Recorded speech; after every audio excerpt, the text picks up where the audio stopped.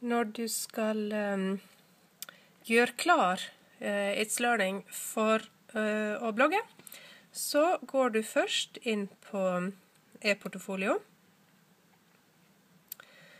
Deretter så trykker du på innstillinger og tilganger.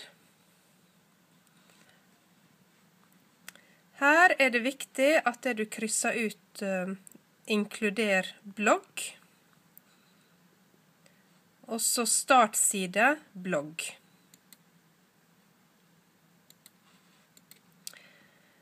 Deretter så kan du velge tema, og da trykker du på 'endre tema', og da kan du velge hva farge du vil ha rundt der. Når du har gjort det, så trykker du på enten Eller du trykker på 'mine fag' og 'prosjekter'. Men jeg som lærer jeg har alle brukerne på denne siten, men du skal som sagt ha 'mine fag' og 'prosjekter'. Deretter så trykker du 'lagre'. Da kommer du tilbake til den sida her, og nå skal du trykke på 'blogg'. Her går du helt til høyre og trykker på 'rediger'. Der var det. 'Rediger blogginnstillinger'. Her skal du også trykke på 'mine fag og prosjekter' i midten her. Og så lagre.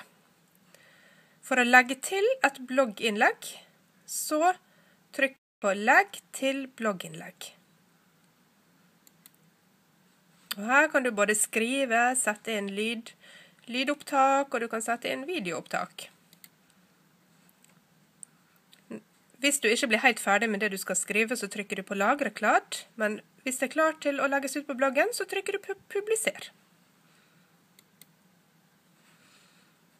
Og så for å se hvordan det ser ut på bloggen, så trykker du på 'vis blogg'. Da ser du her hvordan bloggen din ser ut. Lykke til!